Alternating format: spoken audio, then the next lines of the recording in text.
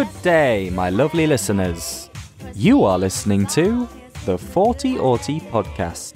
Tune in every week to explore inspiring stories and insightful information that dive headfirst into the world of autism and mental health. With all those tantalizing tongue twisters out of the way, let's get into the show.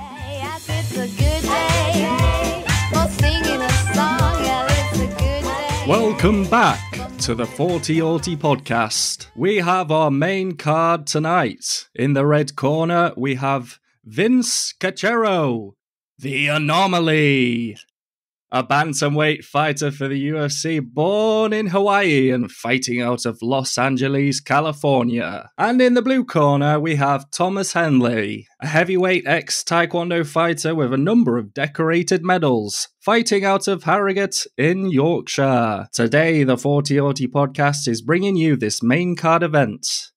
What is it like to be an autistic fighter? Let's get ready to rumble! Love it, man. That was uh, that was legit. They should uh, they should look to get you in the cage soon out there. yeah, maybe.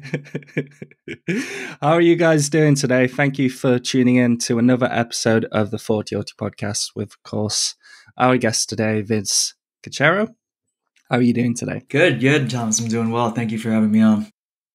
You said that you've you recently going through sort of a big sort of move at the moment. Yeah, yeah. I just uh, I spent the last year in uh, Texas, down in Houston, and now uh, I just moved up here to Wisconsin, and I'm going to be here for for three years uh, with my wife. She has a residency up here, and once she's done with that, we're moving straight back home to Hawaii. It's been a really long time, and I can't wait to get back.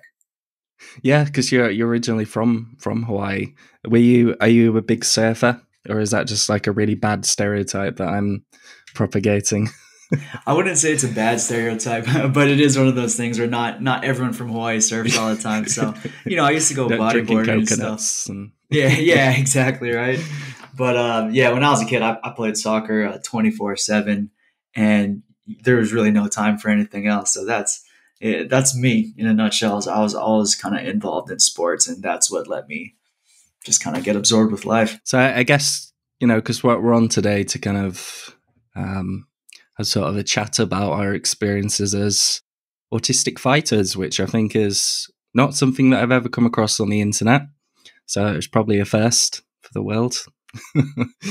um, do you like to sort of talk us through a little bit about your UFC career? Yeah, yeah, absolutely. So, you know, I started fighting actually. Um, my first amateur fight was in 2013. I kind of just just fell into it.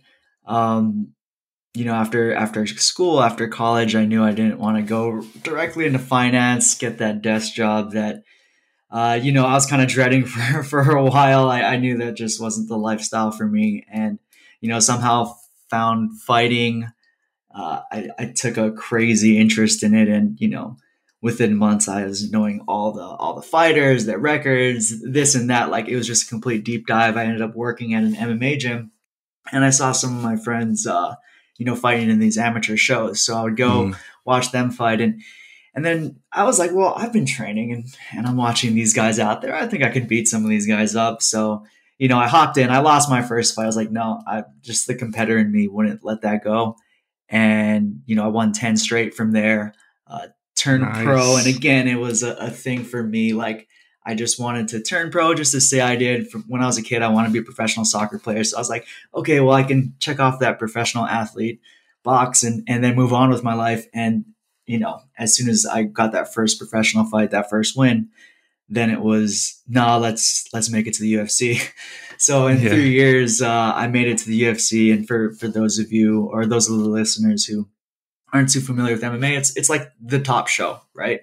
It's the, the top of the top. And, luckily enough, I, I got in. Um, I was lucky to have great coaches around me, great teammates supporting me. Um, I fought the best opponents I could. I made it in on a short notice fight. I fought up a weight class. Um, and I ended up losing losing that match. It was on two days' notice. It was during COVID, so oh the whole gosh. time it was like you couldn't really train at gyms, but you kind of could, and it was kind of like uh, my manager told me just maintain my weight. And it was like this extended period of time where months where I was trying to keep my weight low ish. it was a, it was a really weird circumstance. But you know, I got in and I fought a really tough guy in Jamal Emmers. I put up a great fight, cracked him with some good shots, but um, you know, didn't go the way I hoped it would. And unfortunately, I only had one more fight in the UFC. Um, I lost to a young up and comer, and yeah, since that I, I got cut, and, and that was really it. But fighting consumed my life for, geez, what was that, ten years or so, 10, 11 years. Yeah. I um I like how at the the start of sort of telling you you just kind of you said that you just kind of fell into you know full contact combat sports. yeah, yeah, just, just casually falling in, just, right? Yeah, just falling into it. Um, but that's amazing. Like just the fact that you you got into the UFC, just it's like a massive achievement. Like amazing achievement. Um, yeah, thank you. I mean, personally, I, I've always been like, I've been, I've always been like really into martial arts, and you know, I watch watch a lot of boxing, watch a lot of UFC. I don't tend to remember people's names. It's more like to watch how they sort of, you know, fight together and stuff. But most most of the stuff that I've been doing is like more on, along the lines of like striking. Um, I did a bit of Muay Thai, did a bit of boxing, did a lot of Taekwondo which is where it's sort of kickstarted things. But yeah, I know you competed in that, right? Yeah, yeah. I I, I got pretty good um, at one point. Uh, sort of national champ, Commonwealth champ. Fought for the GB at a couple of events, but I I just got really frustrated with it because it's a it's a point scoring martial art. So it's like you can really sort of give a beating to somebody, but if they just land their foot in the right place at the right amount of pressure, then they did, they can just outpoint you, and it's just ridiculous. Um, yeah, so I, yeah, I that seems strange to me as as someone where it really is just win or lose, tap or the decision and whatnot, and that's that's kind of why I was really attracted to to MMA and being in the cage because at least for me it made more sense. Like, okay, if we're fighting, then we're at least allowed to like fight, you know, and and the fight's gonna go wherever it goes. So I could see how that'd be pretty frustrating. Yeah. I mean, it is what I signed up for, but it was kind of like at the tail end of when I sort of finished like pro- properly training and like getting into it. It was kind of kind of the point where I just got so sort of frustrated at the system, and I was just like, ah, Taekwondo is probably not the best for me at the moment. I have sort of like it was. I think I stopped when I was about nineteen, so it has been like good five or six years since I was training properly. Mm-hmm. So I think maybe there might be, you know, my sort of calm down temperament may suit that a bit better. But I think I think the one thing that stops me from going into to MMA is is like I'd be more likely to try something like kickboxing or um, uh, Muay Thai or stuff like that because I don't like the thought of someone on top of me trying to knock me out and punch my face in. yeah, it's, also, it's it's a little different with that. and I, and I also I don't know if I'd be able to do it to someone else, but because of because of how striking dominant I am, it'd probably be the case. Um, it doesn't. I don't know. It's it's kind of it's kind of a but like a little bit of a cliff edge that I'm not sure if I should jump into or not. yeah, and I think it's important to realize too with most MMA training, um, with with popular gyms and stuff out there, because I used to work at gyms as well, is that it's not a sport where you're going into the gym and you're going in to beat other people up. So, mm, yeah. like traditional martial arts, you have um, just a bunch of different things you could be doing. Like you mentioned, Muay Thai, um, like Dutch style kickboxing. You've got boxing, which is just the hands. Um, you've got Brazilian Jiu Jitsu, which is ground grappling with submissions, and then wrestling and all of that. So you can go in and, and be getting work. And most of these schools, you're not going to train to try to fight someone unless you're trying to turn into an amateur or a professional fighter. And, you know, a lot of people aren't necessarily trying to do that. So it is important to realize, I think, for people out there that, um, you know, if you're a fan of MMA and, and you want to see what it's like to, to do it, um, it doesn't mean that you're going to go into the gym and the next day you're actually fighting someone. Like it takes a little while to, to learn technique, build up the confidence and, and spar if you choose to spar and things like that. So it is a thing where, where I suggest people to, to kind of try if they are interested in it. Um, don't think of it as just this brutality. Think of it as like, no, this Hmm. is martial arts um, in a controlled form and fashion. It's just what you see on TV is literally just the fighting aspect. It's not the training, the preparation, the drilling aspects of it. 'Cause the, the actual fight is such a tiny portion of all the work that you do, isn't it? It's, I mean, it's Yeah. ultimately the thing that gives you the the decision, but everything else, like the the nutrition and the sleep and the training and sort of the day to day and trying to keep on track and you know avoid all all the sort of lovely things that life has to offer, but perhaps isn't so healthy. Um, yeah, yeah, exactly. there's there's a whole lot that goes into to being a fighter and living that fighter lifestyle that um, you know most people just just don't realize. Like I, you mentioned, things like the diet, things like that. I was that was one of the biggest, I guess, reliefs after I chose to retire was, hey, I can I can like go out and have a meal now. My wife would ask me on a, on a Wednesday night, like, "Yo, you want to go out to dinner?"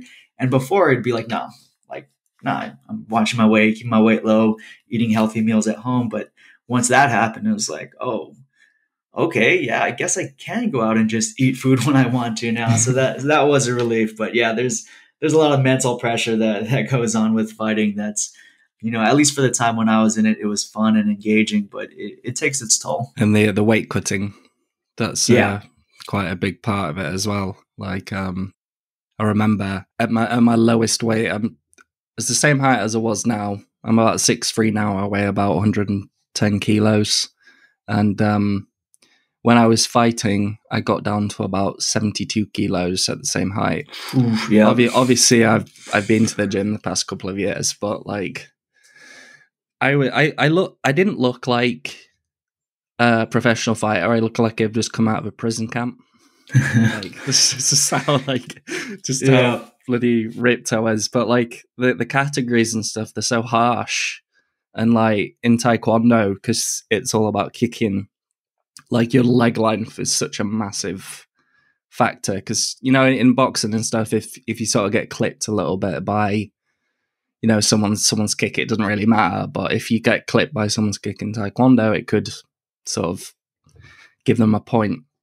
And Mhm. um so we always just push go go lower lower low as you can low as you can. And it was um so it's weird the headspace that you get in when you're kind of cutting and stuff because you know that you can't eat. So you just like sort of in this hyper focus mode but there's no food to to focus on yeah, yeah. People don't see see that th- side of thing, and and it's very much the same in MMA where because you are competing and there are weight classes. You know, your coaches and everyone around you, they're always trying to push you to go lower so you can have you know the size advantage the reach advantage strength all that good stuff but it does reach that kind of tipping point where you're just depleting yourself so much that it's not beneficial anymore no, sure. Um, and it's uh, it, it is interesting like you said with with making those drastic cuts because at least now I- feel as more information gets out there um, in mma it used to be just brutal you know you throw on that that trash bag or that sweatsuit yeah. and just run, just like the Spit a traditional wrestlers do.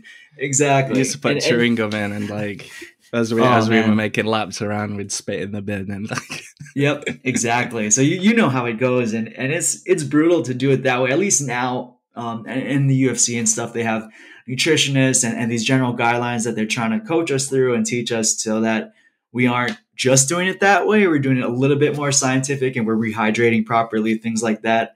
But um, it it's still bad because you're still crushing your body. Like uh, just to give people an example, I'm like one of the lighter guys at, who fights at 135, so 135 pounds. Mhm. So I usually walk around. Um, I'd be 153 or so before the fight, 151, maybe 149, and you know, within a matter of a few days, you're cutting down all the way to 135 pounds, and you know, you're taking out all that water, all of the the food, the carbs that are holding on to water in your body. Like you're going through the whole process to make sure you get out whatever water you can, and then you put it right back on. The next day, you're right back up to 152, 153 now and I'm like one of the smaller. Yeah, and then, and then you go fight someone.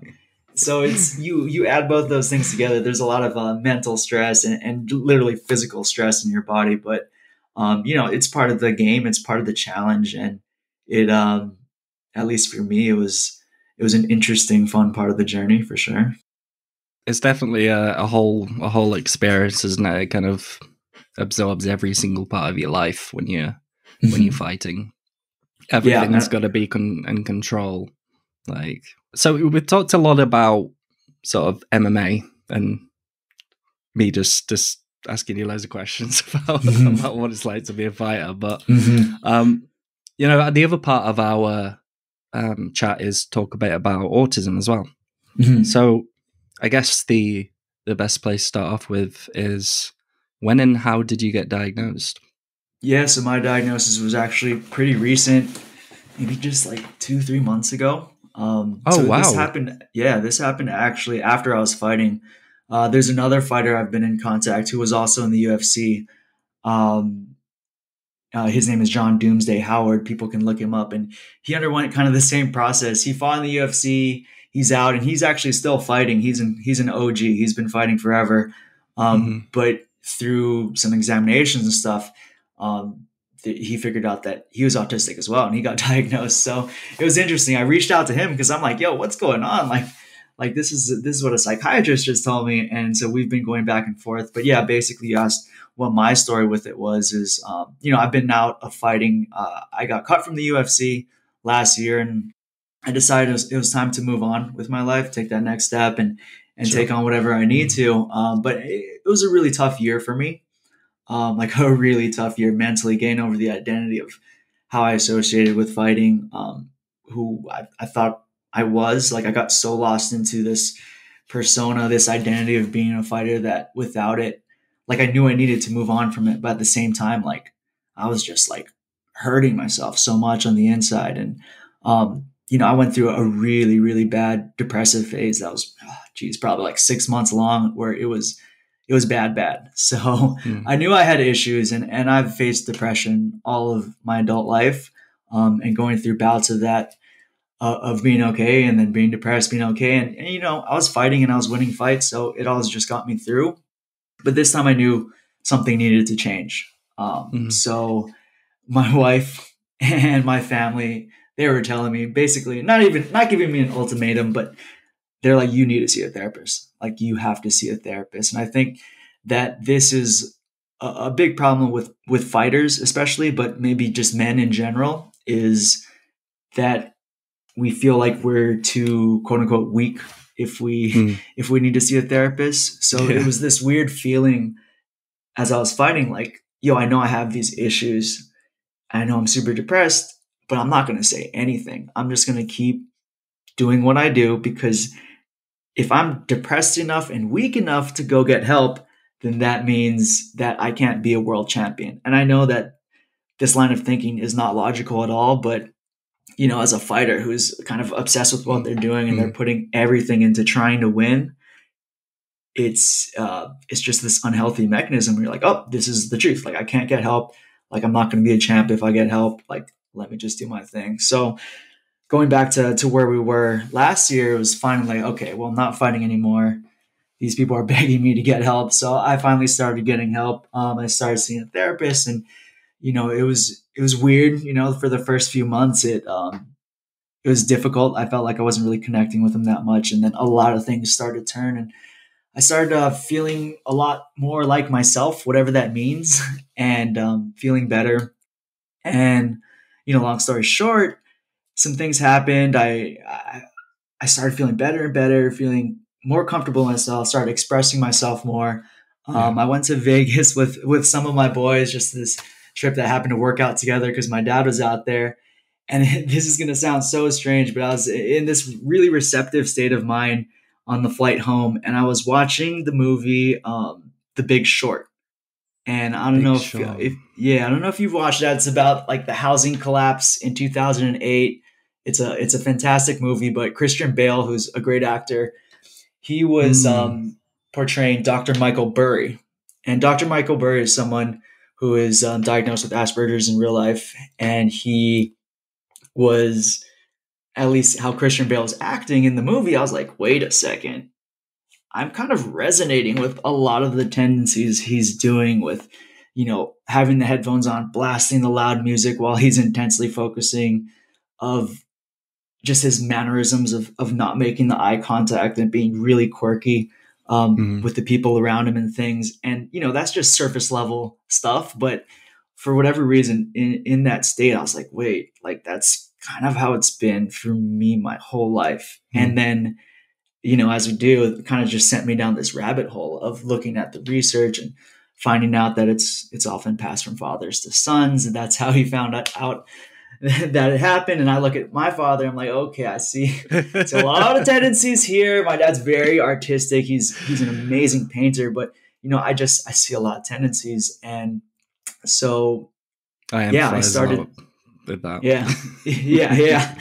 so that that whole thing happened, um, and basically I started expressing myself more through Instagram stories, which is you know weird but for me it's it's it's hard for me to express feelings with words and even though i'm like mm. talking mm-hmm. right now i i it's just hard for me and it always has been and so i felt i i've always found tools like um, photography videography i just i picked those traits up or those uh, skills up because it allowed me to express myself more and so with with instagram stories it's like okay cool i can slap on music that means something to me visuals that mean something to me. I can put in words that mean something.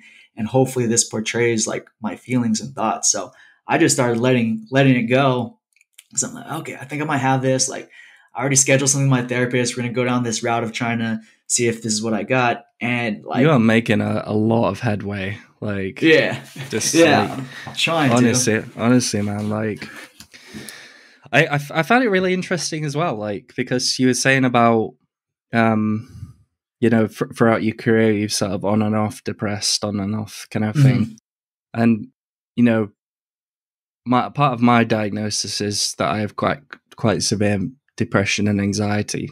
Mm-hmm. So like I just I just find it. don't know if it's is it a coincidence? Is it like a I don't know, did you did you have a tough time in school when it kind of like transferred or is it just kind of like a Yeah.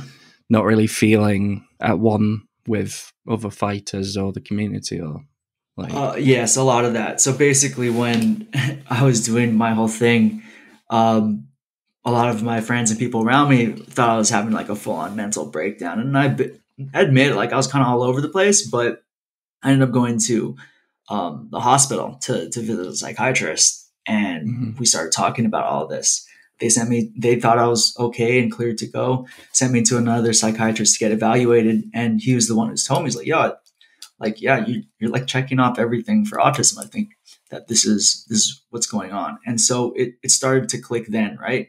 And so when mm-hmm. I look back, back to your question of how you're asking me how I, I felt through all this, it was, it was really strong with school. And anytime there's these new social situations, that's this this massive anxiety and this ability to feel disconnected and wanting to connect so bad for me mm. that I would, mm.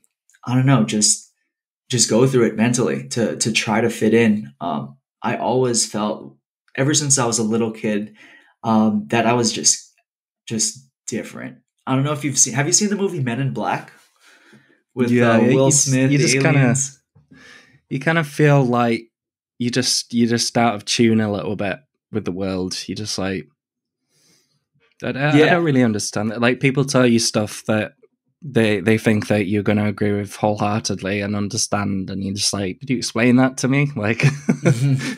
yeah, know? it's it's kind of like not this not understanding social context and situations, and on top of that, feeling literally like you see this online a lot, or at least I have so far of, of people feeling like aliens. And when I was a little mm. kid, I watched the movie Men in Black, and there's this one human and his face comes up and there's a little alien sitting inside. And I remember thinking, like, yo, that's me. Like, that's absolutely me. I, have had this vision many times before that there's this, like, these people inside behind me that are running the show. And, like, I don't really know what's going on out here and stuff. And it, yeah, I mean, my whole life has been kind of that and struggling to understand these social situations. Um, you know, the whole eye contact thing is a big issue for me.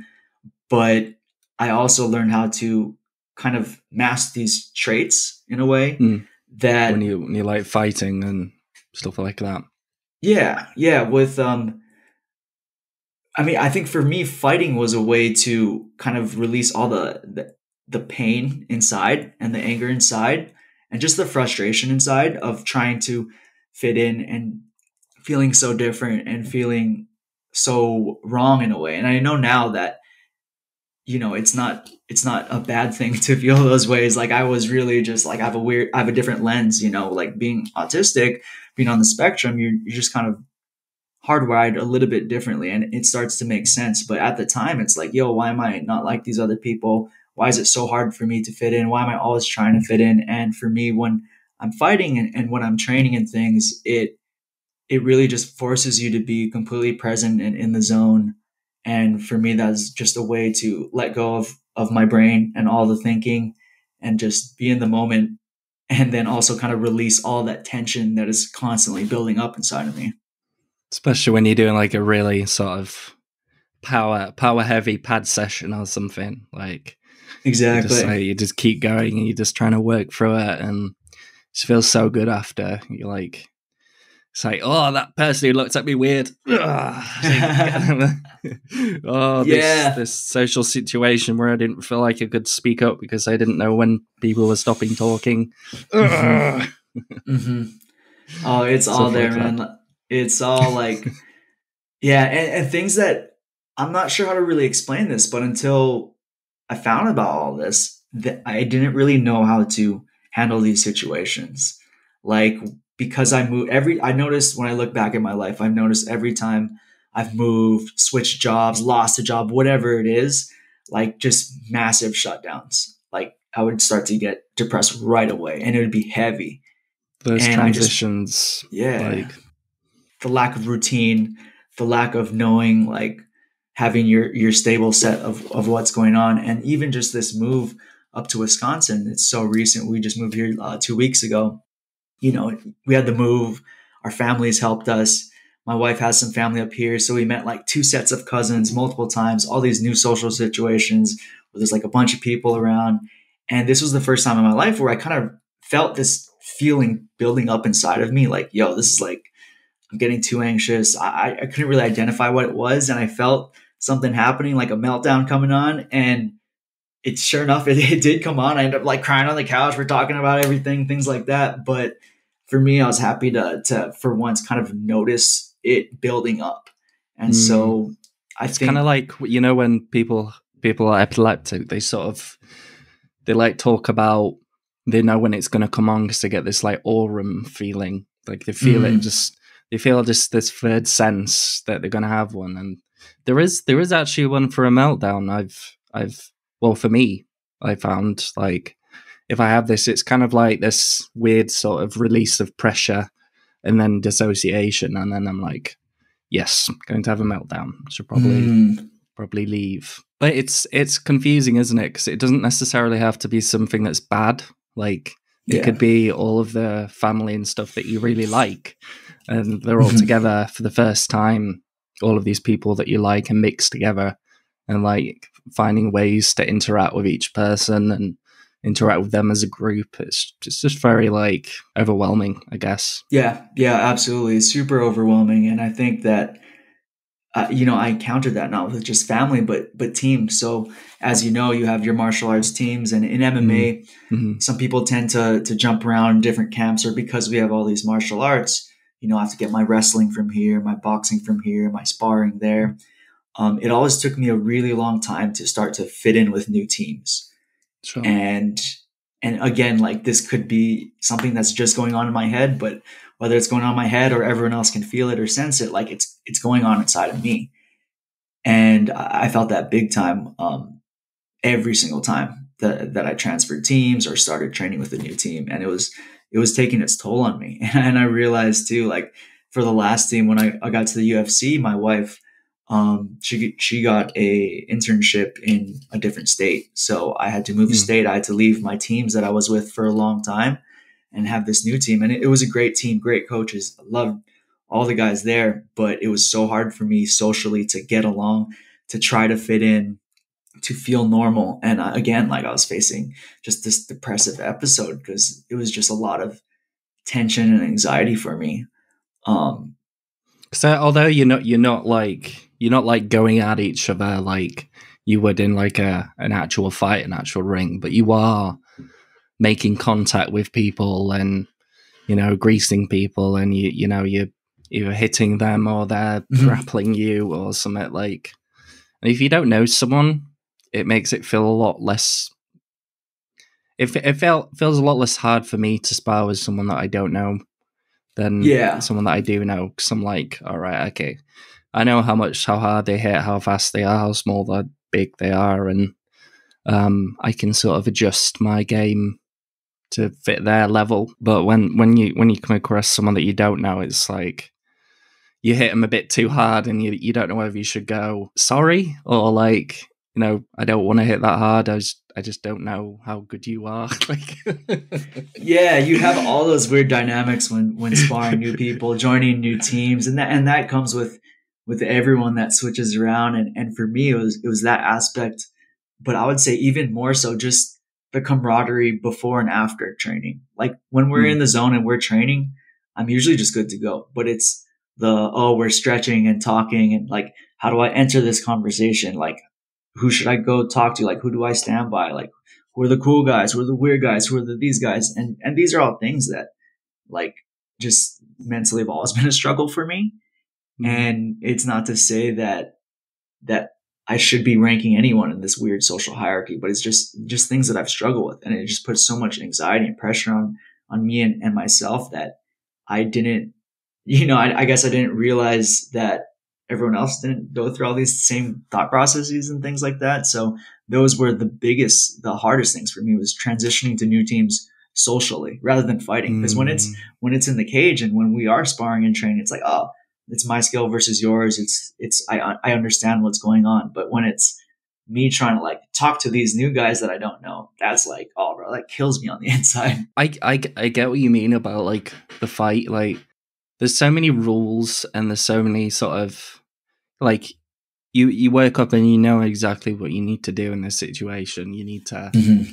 to defend yourself. You need to try and knock them out. You need to try and score points, whatever. And like in real life, if someone was to come up to me and start a fight, like or speak to me, you know, aggressively, or you know, I don't really know at what point I'm okay to beat them up, or but like I find I find that found that really really hard in secondary school. Like I knew that I was good at fighting, um, but it only it took like you know a few people who were just kind of testing the the boundaries to you know at what point do I actually fight and do I hit, hit them as hard as I can or like there's so many questions about what are the social implications of me attacking someone is you know no matter if it's you know like for one person it might be oh just run away or for another person it might be yeah give them a fight you know because they'll stop doing it or the other Mhm. person might say oh yeah just just knock them about a little bit yeah but don't hurt them too much because then the, the teachers will frustration So much, uh, so much to compute, compute going on there. Um, you know, uh, then- one funny fact about myself is I've actually never even been in a street fight. I've only fought uh, in the cage professionally and stuff. So it's it's uh, a lot of like people from when I was younger and classmates and things when they hear that I end up fighting and fighting the UFC and stuff. It's like I didn't see that coming. but for me, like you're saying, there's a, there's a lot of order and routine when you're actually in the training room, and and that routine I think was kind of my saving grace because otherwise the world is just so crazy. you know you know what you have to do Mm-hmm. like there's there's no sort of gray areas or anything like you know what you can do in the cage Mm-hmm. you know what you, you your goal is you know what the other person's goal is there's none of that sort of social complexity that's surrounding it it's like even even people on tv and the, the audience and the crowd and stuff they're watching you to do that thing so you're gonna do it and like Mhm.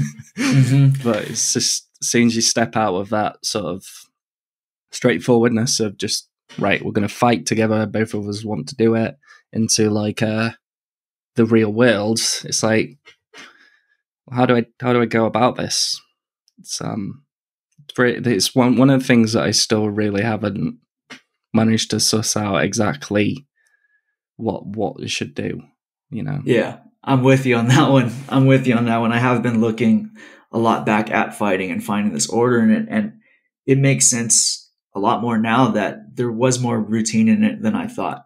Like I, mm-hmm. I thought that, oh, I'm a fighter, like I enjoy chaos, this and that, but it's really not the case. There's like this easily definable social hierarchy in fighting. You have your records, you know who fought who, you have your organizations, you know that, let's say the UFC is above uh, a different organization like the LFA, which is more of a feeder to the UFC, things like that. And so there was a lot more order that I could see through fighting, and it made my life simpler because it's like, okay, I go do this, mm-hmm. I fight these people, I try to work my way up. Um, you know, I spar with these guys. I need to beat these top guys because they beat this person. It, it all makes sense. Whereas when you're in this just social setting, it's like, I guess, kind of confusing. I don't know. I don't know how to explain it. No, I, I get it. Completely get it, man.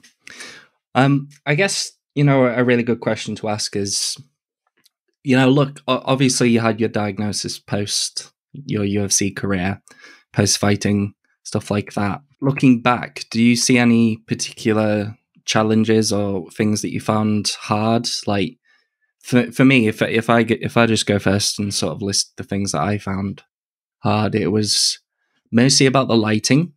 The lighting is very harsh and it's very bright. It's very white, and it really set me off. The noises, uh, the amount of people everywhere, um, especially when you're not in like a like a top like ranked event. It's absolute chaos. You don't know when you're going to fight at all. Um, you don't know who you're going to fight, where, what time. So you just kind of have to like hang around in this this big sports venue all day and try and stay warm and try and like I, I and I think I think also there's just a lot there's a lot of pressure when you fight, especially for for me and point point scoring. It feels it felt a lot more twitchy to to fight with somebody.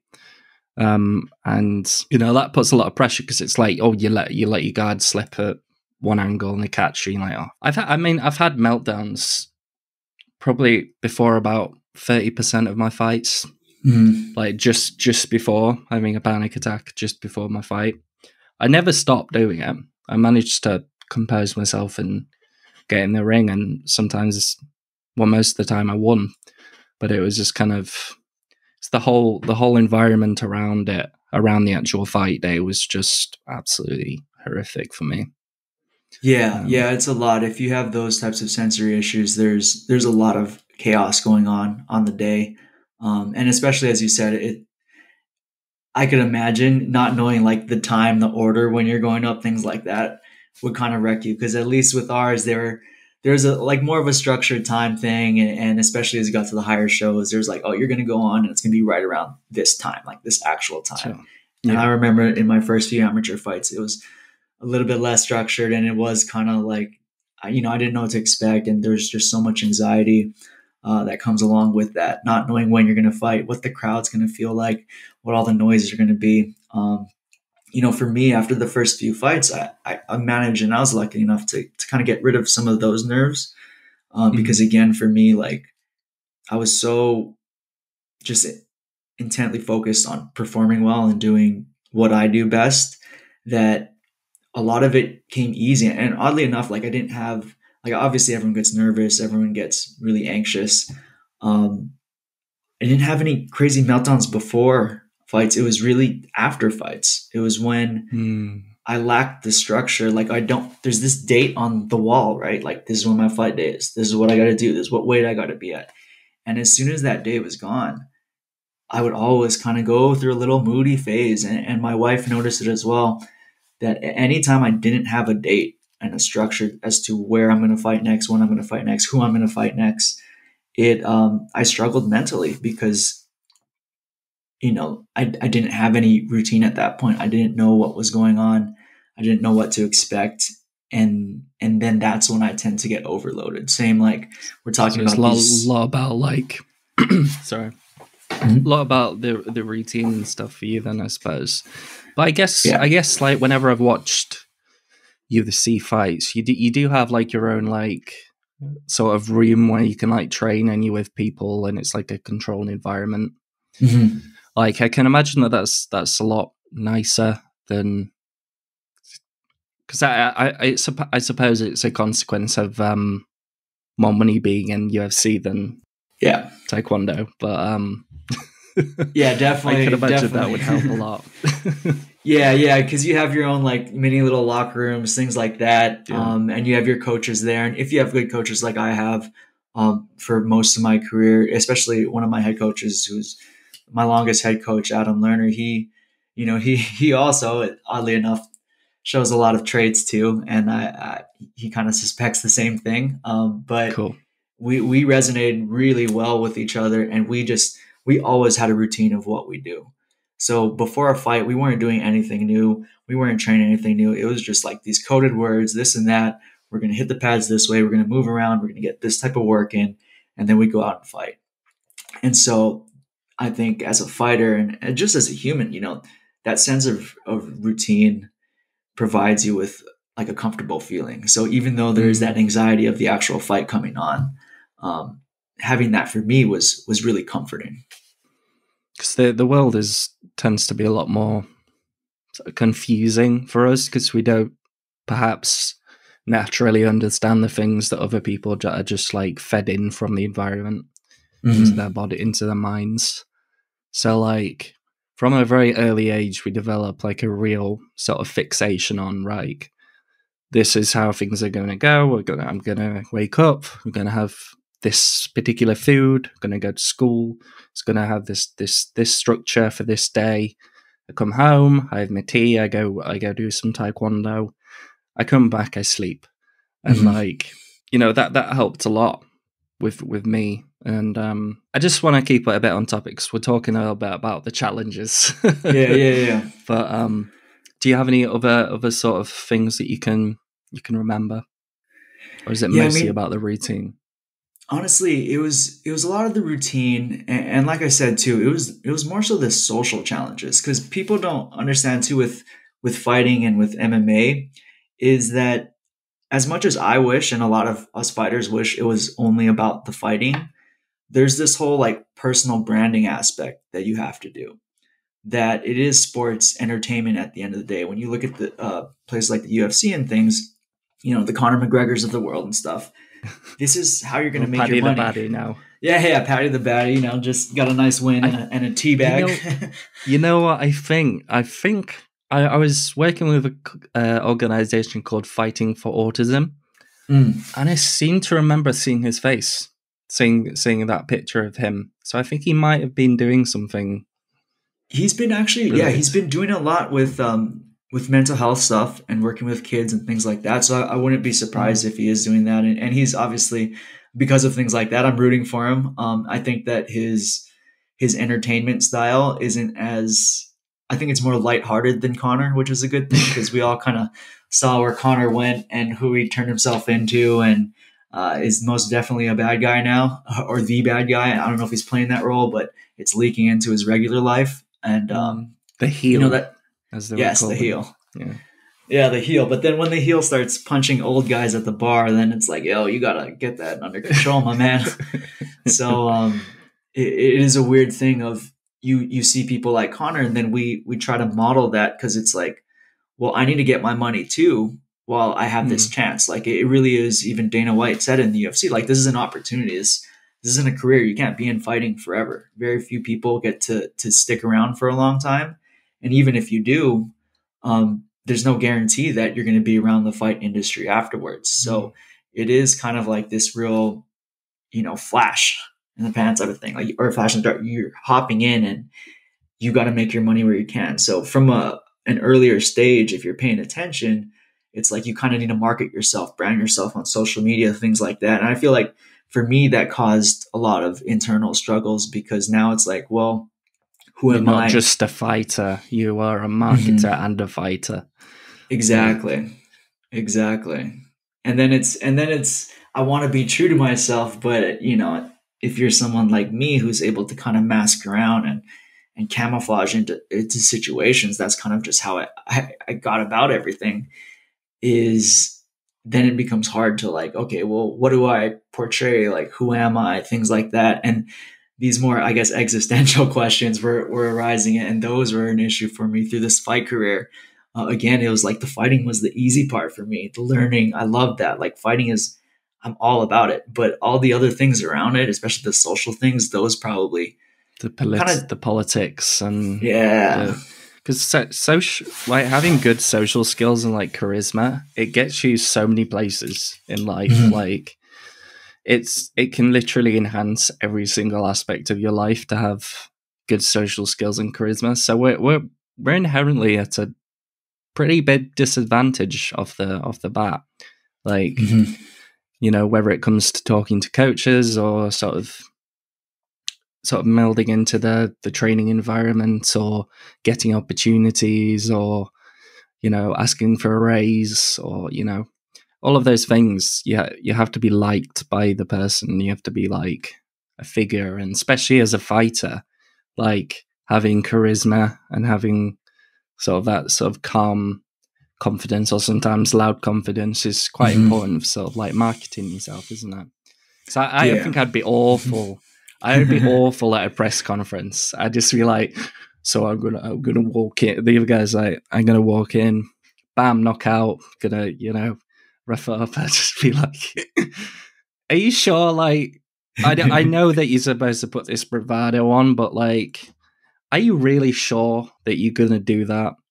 And if not, like, I'm gonna you up. Like, yeah or like I, I don't know because I, I, wouldn't be able to switch myself into the press conference mode. I just I just like I'd just be a right clown. Honestly, people. yeah.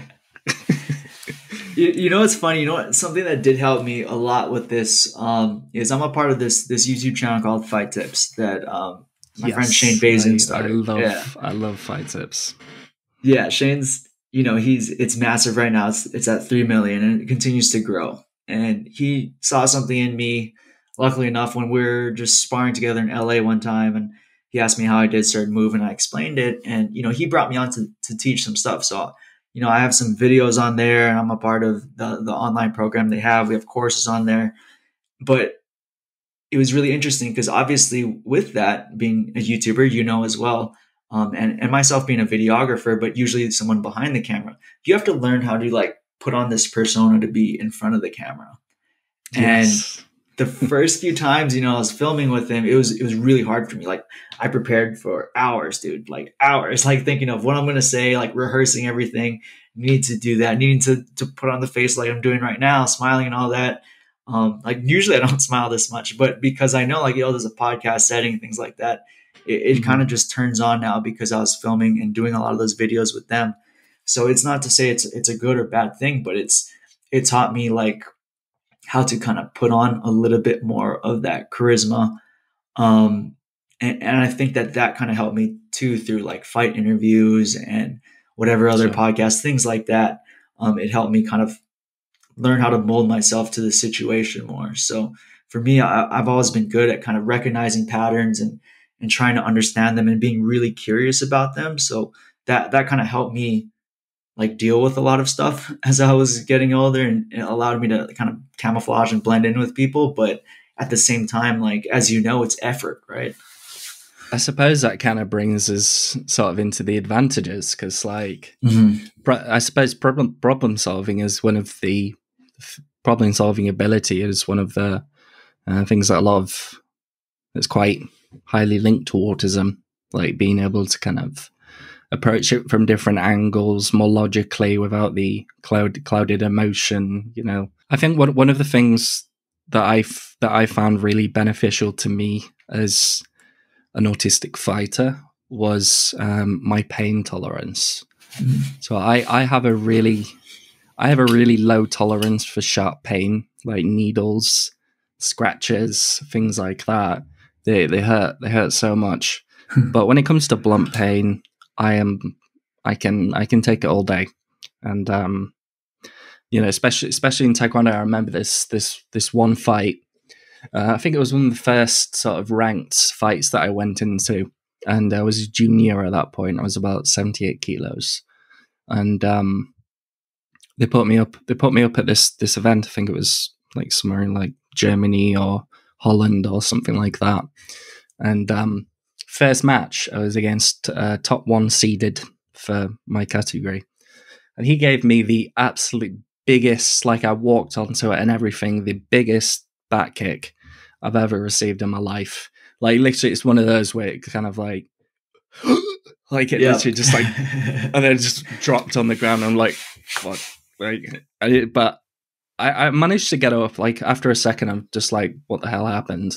I got up and I started fighting again, but I feel like there'll be a lot of circumstances like that, especially like, um, you know, you you kick their elbow a, a few too many times, or you clash legs, or I feel like m- most people would struggle with that pain. But for me, it was Mhm. kind of like I can could sort of brush it off a little bit.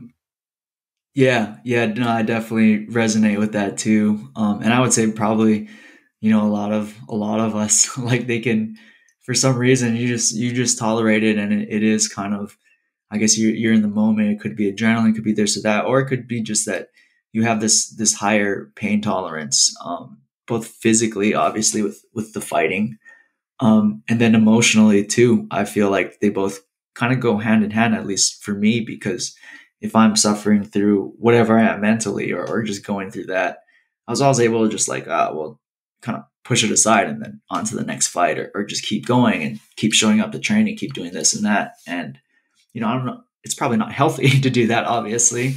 Um, but I think that for me, you know, I resonate with that, the ability to just kind of take on that pain and just, just keep going. The stoic, the stoic sort of. Yeah, one of those those fighters that just kind of keep out a distance a bit, but keep on closing in, and that kind of that kind of mentality. I like that. Yeah. Uh, yeah. I think was a pressure fighter. I love doing that. um, for me, for me, I was I was just absolutely mad. Like I, I like you were saying about fights being like an outlet for mental health.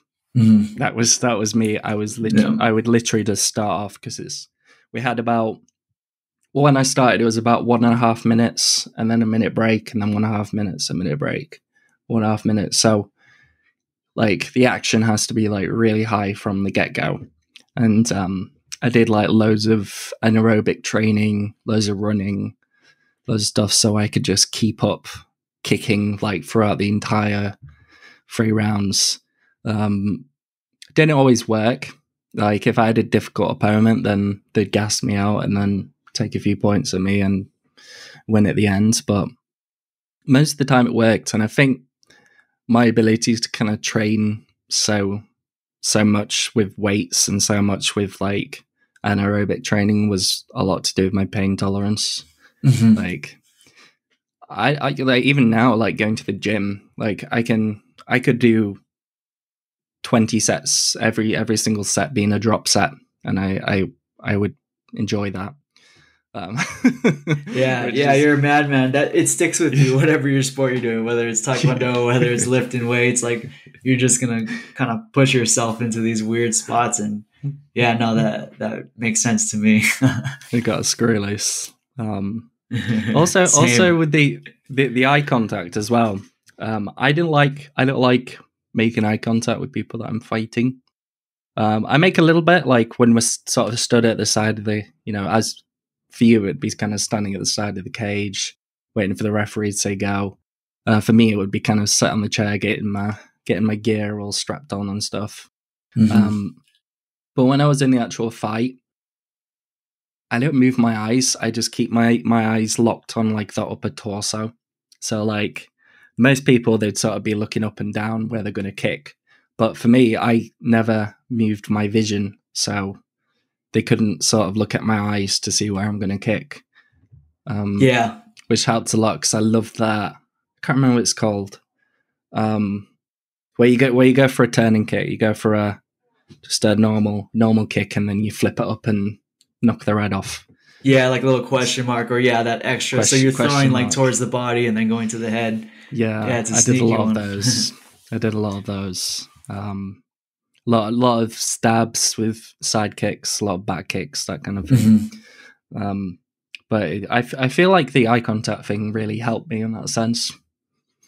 Oh yeah, absolutely. it's a benefit there. Did you guys? I gotta ask. Did you guys play the whole eye contact match before the match actually started? Have you kind of heard of of that thing before? No, I know it. I know what you mean.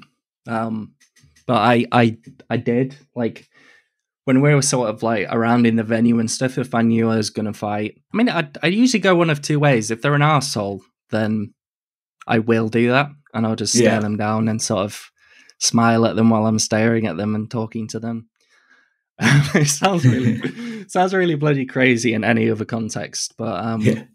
but if they're nice, then I'll kind of just like just chat to them like a mate, and then as soon as fight fight time's on, I just I probably push harder than usual because they kind of expect you to be a bit more reserved because you're all friendly and stuff. But Uh huh. Yeah. um, Yeah, the, my first few uh, amateur fights, that was like the big thing was playing this eye contact match. So as soon as you step into the ring or they step in, whoever goes in first, you're like staring at the other person, and you it's whoever breaks first loses. Whoever breaks the eye contact first loses. So it was just. It was dumb. Like I did it for maybe two or three fights max. I was like, "Oh, what am I doing? Like I'm just adding more anxiety to this. Like I, I don't need that right now. This proves nothing to me." And especially as someone who who normally doesn't like to make eye contact naturally anyways like for me it was just it was too much anxiety but yeah i just like, i think back on it it's so foolish you see videos of like Mike Tyson, like before his Mhm. matches, he's like, you know, he's like proper just. He got really anxious before his fights as well. Mhm. um actually but um he had this he did that kind of stare thing but he just did it so well he just kept locking on and he had all of this like all of these knockouts behind him and so it was just like this crazy sort of aura that he gave off but i don't think i, I don't think that's me. I don't think i could I, i'm more likely to be nice and friendly and then then fight. Um, yeah yeah i was i was more of the same way. I never really had that kind of attitude. It was weird though because as you're saying how you're more of like an aggressive fighter as well i was i was a very aggressive fighter. Most of my fights were all you know basically keeping the fight on the feet pressuring and, Yeah. and dominating Yeah. on the feet um and i was just a heavy pressure fighter like that. And so for me too like i stopped needing the eye contact thing to act tough or anything because i knew like i'm gonna make this fight kind of violent. This is the way i fight. Like it's gonna be a scrap. I don't need to like try to prove myself before it starts. So sure it was that is uh, a good it, it was just a fun phase to to go through that though because I look back and I'm like, dude, what are you doing? You're just a dumb little kid trying this out. you literally, literally, all of your attention is going on trying to lock eye contact. yeah, And then like, the, the bell goes, and you're like, "Oh, fuck! Like, what's my opening?" oh god, exactly, exactly. oh man. Oh well, it's oh, honestly really, really great to hear. Have any other advantages that you feel like um, the good old neurodiversity has bring, brought you?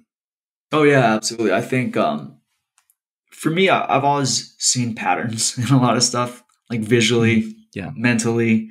Like I just I love I love connecting the dots. Um, and I think with fighting, especially MMA, you have all these different arts, right? Um, you start to realize the patterns of movement, the sequences of movement, how they translate into each other, um, and then how that creates an advantage for you. So, at least for me, I always picked up new moves, new techniques pretty quickly, especially when you have a, a sport, let's say jujitsu or something like that, where you know most of the the schools and teachings is the same way. Like you come, you warm up, you go over the certain techniques for the day, you do your drills, and then you start rolling or you start sparring with each other.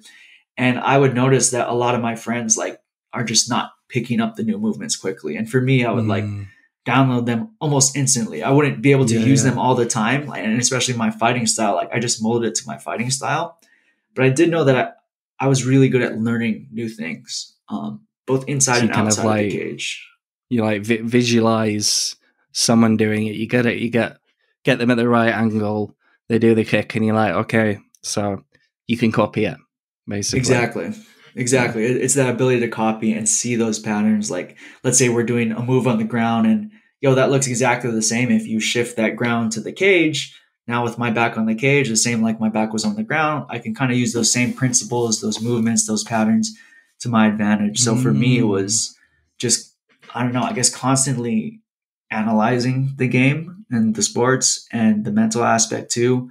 But just, I, I was all in. Like, like I said before in the beginning, I was just really interested in fighting just being interested in it. And, and then that kind of led to me being a fighter and that led to me really being about it. But it, it was just an extreme like intellectual curiosity first. So I think that that being almost like one of my special interests, I guess, was a huge advantage for me because I was just thinking about it constantly and analyzing so everything like, constantly. So you like learn learned about it before you got involved in the the practical oh, yeah. sort of aspect to it. You sort of watch fights, you watch videos on how to do certain kicks and you know how to which style to adopt for what height or weight that you like. Yeah, that's exactly. the stuff that I watch. yeah, and it was kind of taboo, honestly, like learning online in the very beginning when I started, and then now, like, of course, everyone's coaching and they have their online classes and stuff. But you know, that was like in the early stages of YouTube and everything too. So it, it was weird. Like some schools, especially jujitsu, which is like a lot of guys would be like the old school ways, like you can only learn from me, things like that. And that's changing now, but it it was kind of taboo to, to learn from these other places. But I would just be secretly online, like learning all these new techniques or mm-hmm. trying to and things like that. So I think that aspect of my brain, like that fixation on on learning, I think that definitely was an advantage because you know it allowed me to to rise up to the rankings pretty quickly. So I turned pro when I was 27. I got into the UFC when I was 30, and that's a pretty quick turnaround for especially someone who turned pro really late in their life. Yeah, yeah. And I fully attribute that to to kind of you know being autistic and just being all the way in. It's, very, it's really weird you say that sort of very quick sort of rise up in skill level because mm-hmm. um, most of the people that I used to fight they'd been training in taekwondo since we were like six or eight or like like the whole life basically. I mm-hmm. started when I was fourteen. Um, at very very very traditional taekwondo place for a couple of years when I was 16, moved to a competitive sort of the sports side of it that you see on the Olympics and stuff like that. And um no, I got I got quite far in quite very, very few years actually, sort of looking back on it. Um Yeah, I it could be a lot of that same thing. Yeah. That pattern recognition, that ability to just dial in, I guess. Well, I mean, what do you think? Don't know. I used to perform really badly in like my own country with people that I knew. Like, because I, I always used to sort of try to, you know, I, I want to dominate them because they're, they're in my country and I'm the champion. I'm going to dominate them.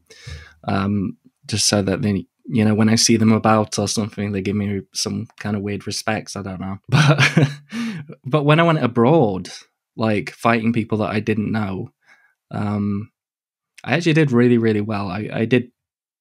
I went to the under twenty one European Championships in Romania, and um, you know, the, at, at the time they weren't so high up, but there's there's people in there who are like gold medalists now in the Olympics, um, silver medalists, you know, top tier sort of taekwondo athletes that uh, we all went over and we fought in our individual weight classes, and um, I did the best out of everybody, and I lost to the eventual the eventual Russian winner. No, I think that was that was probably my, you know, looking back, considering where they are now, you know, uh, it's probably my, a bigger highlight than I thought it'd be. Like just because I didn't get a medal, like I still won like three fights against the world's top know, tier, Europe's top top tier. Yeah, um, yeah, it's amazing. I, I, I am wanting to to trial out going back into it, but as you know, I am currently recovering from an ACL operation. Mm. Uh, I got it done last, not last Wednesday. Yep, the Wednesday before last. Um, so it's been nearly two weeks. It's been it's been awful. Um, but I'm actually surprised that I've been able to to sit this chair for so long. Um, it's definitely very painful. I had my my ACL reconstructed, my MCL reconstructed, and cartilage removed. And they how they do it is they sort of take take like one of your hamstrings and like basically feed off about a length a length of tendon from your hamstring, and then like drill a hole in the top bone, hole in the bottom, Oof. feed it through. Oof. Yeah, that does not sound good. I've heard of some sometimes it like doesn't take or something. Is everything going okay in your process so far? It's actually been pretty pretty pretty well to be honest. I mean, I can nice. get full ex, full extension now. Like the physio is the worst part of it. Mm-hmm. Um, I can bend past ninety degrees now, which you know th- those are the main markers because you don't want to have like impingements, team movements, or anything like that. But I'm on very heavy doses of tramadol at the moment. mm, yeah. so uh, I could imagine that was a lot of stuff they had to do to clean up that knee and, and get it right.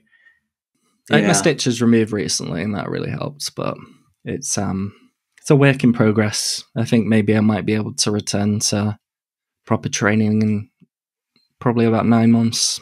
So it's a while, but I can sort of, you know, got to build my flexibility up and and all that. But yeah, and how how so, would you deal with the? Um, obviously, you wouldn't be trying to compete at that high level. I think a hard thing for me going through this process of being retired now, and what's something I, I would assume you would face uh, as you go back into it is how do you find that right balance, right? Of of training mm-hmm. for the fun and being slightly competitive, but not letting yourself get lost to that identity of being this this high level competitor type of thing. I think that's that's been difficult mm. for me.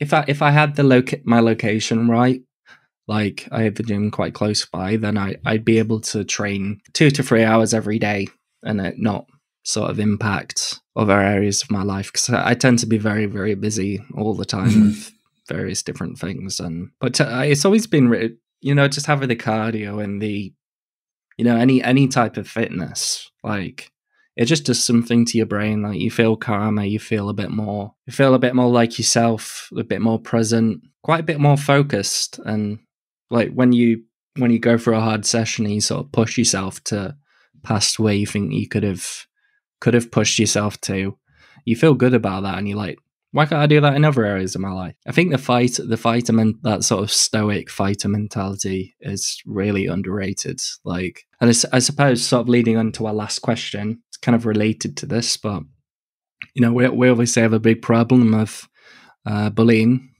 for for autistic people. It happens at a much larger rate. A lot of isolation, a lot of mental health that's be developed during, particularly during secondary school or high school and um, I guess how do you how do you think learning martial arts can help? You know, these people that that are finding themselves in these situations, other than that sort of stoic mentality that can can help you get through other areas. Yeah, absolutely. Yeah, I think it, it can help so much. Um, I think being able to to learn martial arts, being able to go in and train, you learn more about yourself in terms of what you can handle you learn that you can face adversity day in and day out. You learn that you can grow. You can start to add more of these techniques and things to your arsenal. Um, and you also obviously learn that you could be physically safe. Mm-hmm. And I think by by kind of combining all of those into one aspect, martial arts is is a really good tool for for people to obviously stop the bullying in a, in a physical way, but just being more confident. And oftentimes it takes really just that that aura of confidence, whether you have it or not, it's the appearance of it can shake a bully off. Um, mm. And I think that martial arts gives you those tools. And I, have seen it. Most of the gyms I've been a part of have had like anti-bullying programs for kids and whatnot. And so good. Yeah, it, it's great. And it is really cool to see these kids in there and grinding away. And, and you see them, you know, being forced in these social interactions and, and, and being learn how to, or learning how to control their bodies and everything. But it just it develops so much confidence as someone who's an adult who got into martial arts rather than doing it from when I was really little and, and building my way up. It um it for sure helped me so much develop that more of that confidence. And I'm not here saying that that I'm super confident. Like clearly I have my issues and had my issues and, and was was wondering all these weird social things this whole time, but I'm much, much better off than when I was before I stepped into the gym. Sure. So yeah, it's it's a great vehicle for developing. I feel, I feel like people really really get wrong what confidence is about. Like when people think of think of confidence, they think of like oh, I've got to act like Conor McGregor everywhere. Like I've got to be, I've got to be the aggressive, domineering person that kind of walks in and you know if anyone says anything to you, you tell them what's what, and if not, you beat them up. Or people think that's confidence, but like confidence is just the ability to be unre- non-reactive to what people do. Like someone threatens you, you're like, I know how to fight pretty well. Like you, you're coming. It's like they're the challenger. You're like coming to you rather than sort of equal playing field or above. Like you may see them as you know before you train trained in martial arts or combat or you know things like that. And I think that the best way to build that confidence is through competence. So, like how good you are at something. Having a lot of confidence about around fighting and not being very good at fighting is just like, what do you call it? Um, arrogance. Mm-hmm. Yeah, like, absolutely. It's it's more the Conor Greg stuff. It's more being arrogant than anything. Like if you want to see someone who's like confident, you know, a really great example would be like Vladimir Klitschko or like butchered his last name, but you know what I mean. Um, that sort of that calmness, that non-reactivity, that sort of that's um, it can it can do a lot of, lot for people because they kind of expect you to react when they do something to antagonize you, and if you don't, and you kind of just don't really sort of lower yourself to their to their level. It, it I mean, it doesn't always work, but it does work in in most situations in my life it has. Like uh, avoiding fights has been the best thing about fighting. Yeah. Yeah no absolutely it is. There's that famous uh, bruce lee movie right where someone's challenging him on the boat to a scrap and he's like okay let's take this little boat off their main ship and let's go to that island and we'll fight the guy gets in the boat and he just he kicks it off and then he, he lets the guy kind of just float away. And it is that ability to stay calm and kind of avoid the fight, just be assured, self assured. And, and I think that that's the real type of confidence that martial arts is trying to instill to be, be able to keep calm under pressure. And that's an important thing. And then obviously have those tools to, as you said, not be arrogant with it, to, to know actually how to defend yourself, but to be calm in, in all those situations is just really important. I really like that that Bruce Lee analogy. especially especially when you're a kid and you're you're surrounded in this complex environment, you may not even know you're autistic. You may not, you may know, but not really understand it or understand the people around you. And for, I mean, it, just in general, like having some routine to exercise, it just helps. You know, it mm-hmm. helps with your confidence. Like people, like parents are so apprehensive about letting the kids do martial arts. Like like the coaches, they're going to throw them in with the adults and full contacts. Like mm-hmm. like you know, it's it's not like that. And I'm you know even even at my size six three, I've sparred with eight year olds before. Um, they didn't really stand a chance, but. but uh, we just just had fun with it and stuff, and it, it, I think it does really depend on the gym. Sometimes you can get some bad gyms out there, but most of them that I've seen you know really great places to kind of build a human who's confident in themselves competent you know has some structure to their lives mm-hmm. that kind of thing i mean there's, no, yeah. there's nothing wrong with that yeah no and, and like we talked about before facing that that daily struggle and then learning to overcome it um, either by winning winning your match learning new moves whatever it is or by losing your match losing the sparring match and then coming back the next day to do it all over again. You know, it's about facing that struggle and you know, you just keep coming back, you just keep coming back and, and soon you'll learn that you can overcome these obstacles. Um, one of my favorites was Marcus Aurelius and, and Ryan Holiday wrote a, a, popular modern book on it. It's called The Obstacle is the Way. And I think that martial arts is, is a great teacher for that because life will throw so much at you and some of it's going to be in our control and, and a lot of it won't be, but we just got to kind of bear that and just keep going at times, you know? So that's, um, you know, martial arts is a, is a great tool for that. Well, I think that's all of the questions that I had to ask you. Um, I have like a little segment because it's, it's season two of my podcast, and I'm trying to like spruce it up a little bit. So um, we've been doing this thing called Song of the Day.